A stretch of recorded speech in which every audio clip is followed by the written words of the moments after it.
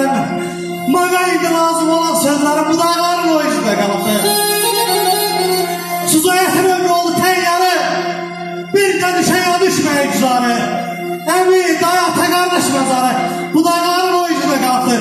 Gün o gün olsun bu cür məclislərimizi doğma Kəlməzərdə, doğma Göyçədə, doğma Zəngəzur mahalımızı mən xahiş edirəm, Bənci şəhərinə bir gürültülar quşlar gəlsin.